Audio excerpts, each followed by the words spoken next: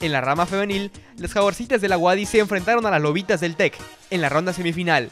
No fue un buen partido para nuestro equipo, que cayó ante el talento y contundencia de las chicas del tecnológico, que con parciales de 21-8 y 21-14 obtuvieron su pase a la final. En el juego definitivo, el tecnológico derrotó a la escuadra de la Universidad Marista con parciales de 21-15 y 21-18, mostrándose en gran nivel para encarar a la fase regional de la universidad. En la rama varonil, la UADI se enfrentó a la Universidad Marista en el partido semifinal, dando muestra de un nivel del juego muy competitivo.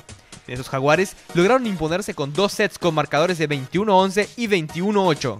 En el partido final, nuestro equipo se midió al representativo del tecnológico, quienes mostraron dominio del juego y aprovecharon en todo momento su condición de locales. Pese a la entrega puesta por la escuadra Jaguar, los Lobos consiguieron la victoria en dos sets, con parciales de 21-16 y 21-17, confirmando el dominio del tecnológico en esta disciplina, al obtener el pase a la fase regional en las ramas varonil y femenil.